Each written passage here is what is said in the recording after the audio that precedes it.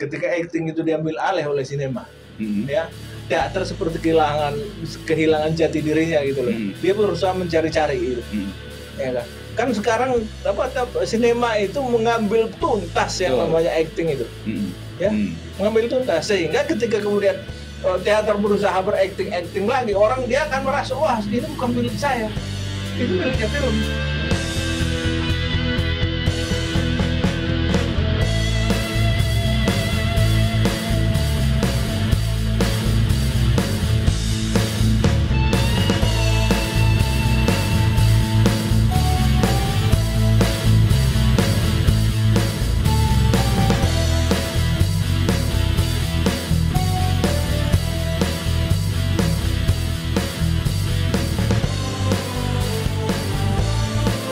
ke teater. Anda itu terakhir menjadi ketua komite teater Dewan Kesenian Jakarta ya? ya Ya. pernah menjadi ketua Dan itu masa-masa teater masih hidup ya? sudah mati sudah mati suri Sudah mulai mati suri Sudah juga. mati suri juga. teater masih teater atau kesenian lah secara Ya, umum masih hidup ya. itu kan boleh dibilang sampai akhir tahun 90-an Hmm. Ya. Hmm. Hmm. ya se- se- terutama seni pertunjukan ya Hmm. seni pertunjukan yang berbasis panggung itu Hmm. Ya, teater tari Hmm. ya, ya di luar di luar dan musik musik di luar musik populer ya Hmm. itu sam- sampai alhamdulillah itu ke sini sudah mulai mulai ano mulai mulai rusak kan anunya Hmm. Uh, Ekosistemnya lah. udah rusak lah ekosistemnya orang sering kali bilang ekosistem logistik tanpa mengerti juga Iya, iya, apa ceritanya ya. apa itu tapi Hmm. sudah mulai rusak sebetulnya kenapa karena dirusak sendiri oleh para senimannya Ya. ya dirusak sendiri Eh, eh, dulu misalnya orang bilang oh teater yang serius itu yang apa yang tidak jelas jalan ceritanya itu nggak ada yang nonton kata siapa Ya. siapa bilang Hmm. kata oh itu susah dijual kata siapa enggak bisa dijual faktanya ya teater dulu di zamannya teaternya Putu Jaya itu kan bikin Ya. tuh penuh itu gedung pertunjukan Ya. tuh kalau dia main Oh, iya. Sepulang dari Amerika saya tuh produsernya. ya kan. Kan penuh itu karena Iya. merasakan sendiri kan kata siapa kurang-kurang itu udah jadi apa namanya kan kan diurusan sendiri Nah, kalau film, Ri ya, nanti kita ngomong film karena Anda kan kritikus film dulu. Tapi kita ngomong teater dulu ya. Ah, ada masa mati suri. Tapi kan kemudian kalau film ada bangkit. Kalau teater kita bicara dari yang ada sebut menjelang mati suri sampai hari ini kira-kira apa yang terjadi dengan dunia teater Indonesia? Ri? Saya saya kira sih orang-orang teaternya meninggalkan teater itu sendiri Hmm. gini apa sih apa namanya eh, eh, core-nya atau atau atau, atau apa namanya milik teater itu Hmm. milik genuinnya teater itu Hmm. oke Hmm. musik Hmm. penataan panggung Hmm. bukan cerita bukan Hmm. Cerita itu sastra yang punya Ah. oke Hmm.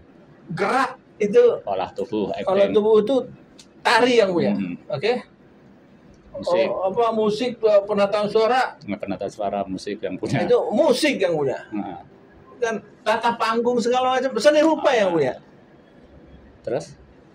punyanya teater itu hanya satu Apa? acting Hmm. Acting panggung. acting panggung Hmm. dan acting itu ada jiwanya ada karakternya itu yang sekarang hilang dari teater Indonesia coba anda menonton pertunjukan teater sekarang Hmm. makin hilang itu oh, kita sibuk bergerak-gerak sekarang nggak ada Ya. orang bilang teater tubuh ini segala macam Lah ya kenapa? Kenapa kemudian itu bisa hilang? Karena gini, ya kalau kita lacak sejarah, bahkan kemarin penelitian dari seorang dari di Nottingham University itu, cikal cikal bakal hampir seluruh film nasional di Asia Tenggara, ya itu adalah dari teater. Kalau di Indonesia dari tonel ya, Mhm. di Malaysia dari apa, di Thailand dari apa dan sebagainya, hampir semua dari teater dasarnya.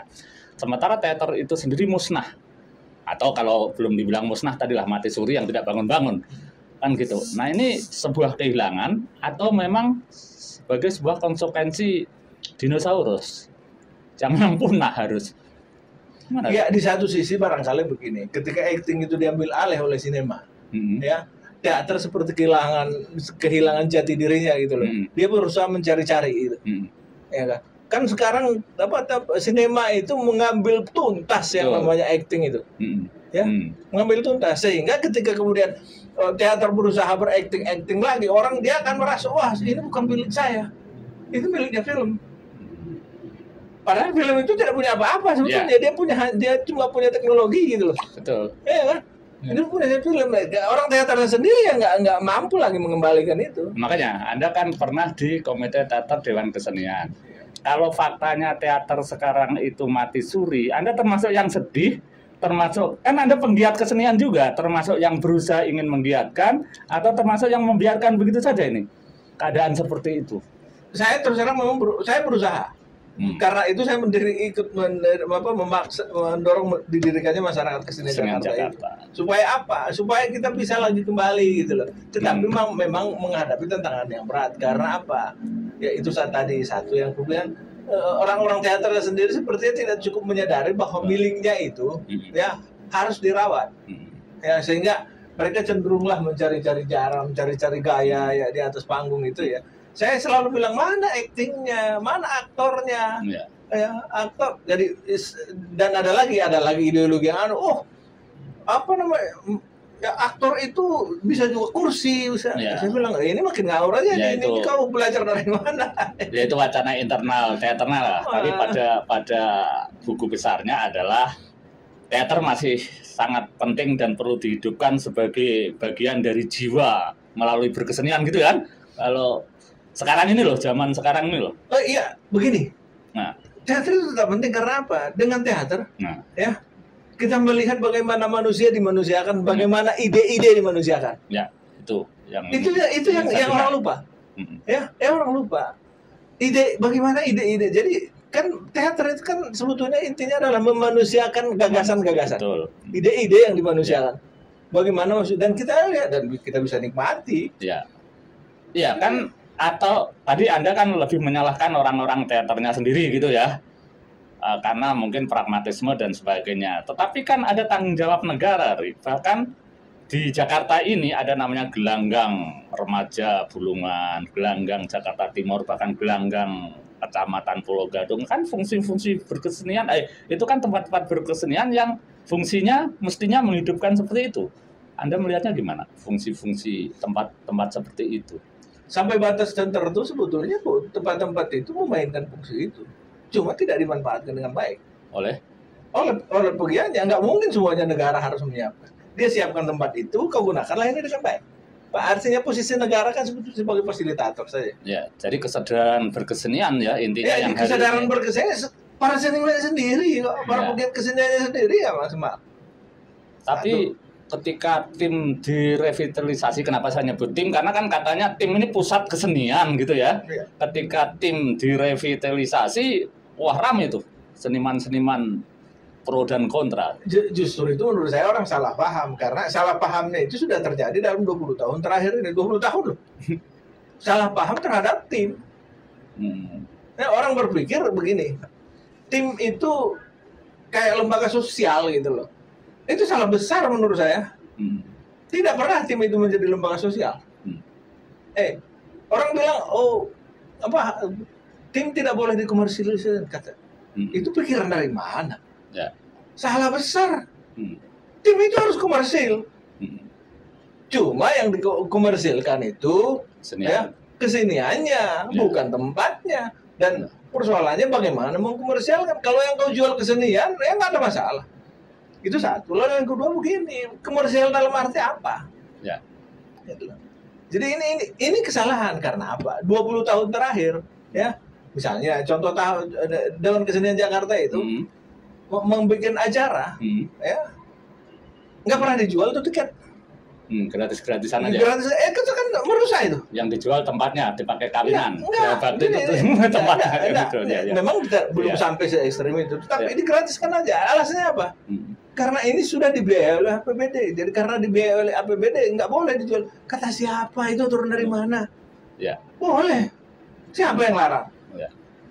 Cuma Yang- memang ada aturannya Yang, kalau yang larang ya seniman-seniman ya, tadi. karena begini menurut saya karena dia tidak bisa jual. Ya. Ya, jadi dipikirlah alasan itu. Itu tuh coba Iya. ingat, Anda Anda kan juga dulu pernah apa Oh iya. balik ke Saya pen- pernah pentas tujuh malam di situ Enggak, teater. dulu dulu tahun 70-an Oh, ketika iya. kita ke tim Ah, itu main mau masuk ke tim aja bayar ingat Iya. nggak Mm-mm. bayar tiket itu Mm-mm. bukan lagi bukan hanya uh, masuk ke gedung pertunjukan Iya. masuk ke tim aja bayar tiket ah. Mm-mm. Loh, kenapa sekarang itu nggak boleh dilakukan Mm. Ya. ini kalau kita sekarang masuk ke tim bayar tiket ribut orang Ya. kalau oh, komersial Eh, bagaimana ceritanya Iya. Tim, kalau nggak salah kan dia punya fungsi apa? Anda sebut laboratorium, dia berfungsi sebagai laboratorium artinya apa tempat untuk melahirkan ya. di situlah seniman-seniman besar Hmm. uh, karya-karya terbaik dilahirkan Mm-mm. dia etalase Etalase etalase kesenian. Kese- bagi kesenian Hmm. bukan bagi kesenian kesenian terbaik di Indonesia bagi Hmm. kesenian gitu loh di Indonesia bukan hanya kesenian Indonesia Ya. Dan dia menjadi laboratorium. Laboratorium itu apa? Ya, laboratorium, etalase, apa? Barometer.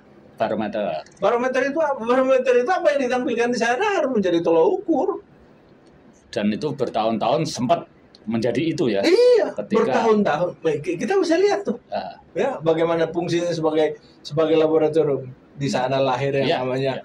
namanya oh, apa namanya oh, Selamat Abdul Syukur Iya. oh, bus- iyalah apa teater-teater nama bahkan di sana yang lahir Sardono Kusumo segala macam itu seluruh Indonesia di daerah-daerah dulu impiannya kalau punya teater, kalau pameran lukisan, kalau bermain musik ya kalau sudah menginjak tim itu barometernya di situ. Iya. Ya memang dan, itu. dan dan dan ini tuh dia ini yang selalu apa namanya ada istilahnya kan apa Eh, ke KPI apa ke ke apa namanya key performance indicator gitu loh. Jadi Hmm. kan apa indikator suksesnya gitu loh. Iya, iya tim barometer itu tadi. adalah seberapa banyak Dia melahirkan dia melahirkan dan Iya. menampilkan karya-karya terbaik yang menjadi Iya. barometer itu ukurannya. Kalau nggak ada ukuran ukuran keberhasilan tim itu. Iya. Kalau tidak ada Hmm. ya gagal gitu loh. Dan 20 tahun terakhir 20 itu tahun seperti itu ya. ada nggak yang misalnya lahir orang-orang sekelas Putu Wijaya di tim itu? Nggak ada. Ya. Ada nggak yang sekelas oh, oh, apa, apa namanya? Oh, oh, Ya, artinya bersyukur gitu. Bermunculan lah 20 tahun terakhir ini tidak bermunculan 25 apa tahun terakhir. seniman-seniman yang lahir dari tim gitu ya. Ya, ya, se- se- Tapi kan itu terjadi di mana-mana, Ri. Di dulu ya. Pasar seni Ancol itu aja. Itu dulu. Begitu lahir dari sini. Siapa itu eh, Praguwati itu lahir dari sini. Nah, sekian puluh tahun ini juga nggak ada lahir dari sana. Nah, it- it- Gedung kesenian juga begitu. karena Bukan hanya tim maksud saya. Enggak, iya iya begini begini. Ada bedanya karena mereka tidak berfungsi sebagai laboratorium, tidak berfungsi Hmm. sebagai etalase, tidak berfungsi sebagai barometer. Ya. Enggak apa-apa kalau nggak Nggak lain. apa kalau yang lain nggak Kalau apa-apa ya. apa-apa. Kalau ini Ya, sama itu- dengan HI ya, dulu kan memunculkan teater populer. Kalau Ya, sekarang nggak ada melahirkan masalah, seniman ya, ada karena memang dia hotel. Ah, iya, Iya, iya, iya. iya. Ini ada Iya, nggak iya. masalah gitu loh. Iya, dari Tapi kalau itu tidak kalau itu tim, masalah nih. Jadi masalah, Iya. gagal ya. Ya sudah bubarin aja kalau menurut saya gitu. Makanya sekarang kan direvitalisasi. Ah iya, direvitalisasi supaya balik lagi. Ah, supaya balik lagi atau supaya bagaimana nggak tahu lah. Justru saya mau minta pendapat Anda. Revitalisasi tim ini kira-kira akan mengembalikan tim atau bahkan meningkatkan tim pada fungsi-fungsinya yang Yang, tiga yang hal tadi. Hmm, yang tiga Mestinya tadi. itu. Hmm. Kan sekarang revital- revi- revitalisasi sudah selesai. Anda, Fisik. Anda melihat fisik ya? Anda melihat tanda-tanda itu nggak? Belum. Karena revitalisasi itu tidak hanya fisik. Yang yang yang selesai itu kan fisiknya. Hmm. Kan revitalisasi itu tidak hanya fisik, non Ya. fisiknya juga harus direvitalisasi. Hmm. Non fisiknya itu apa? Lembaga-lembaga yang ada di sana itu. Hmm. Con- Contohnya misalnya lembaga yang mengurus tim itu aja itu harus direvitalisasi. Hmm. Tidak bisa lagi kita meng- me- me- me- menggunakan model seperti di sekarang dan lembaga seperti apa yang tepat itu loh. Ya, Ya. kemarin kemarin kalau nggak salah kan tim itu setelah dulu yayasan ya. Dulu badan pengelola namanya, Nah, sebelumnya ya, yayasan lah. Eh, Bukan- yayasan, bukan badan yayasan. pengelola, terus kemudian UPT ya menjadi Hmm. UPT ya. Unit unit pengelaksana teknis. ya Nah, itu jadi- menginduk kepada ya itu Pemda DKI lah ya. Apa namanya? Terus sekarang apa? BUMD? Sekarang masih ada eh, anu masih ada UPT-nya. masih sebagai UPT. Eh, Separuh UPT, separuhnya itu diserahkan ke BUMD-nya Pemda, Jakpro itu. Itu termasuk bentuk revitalisasi kelembagaan pengelolaan yang Anda bayangkan tadi nggak? Belum. Bukan itu harus dibuat lembaga tersendiri yang ngurusin tim menurut saya.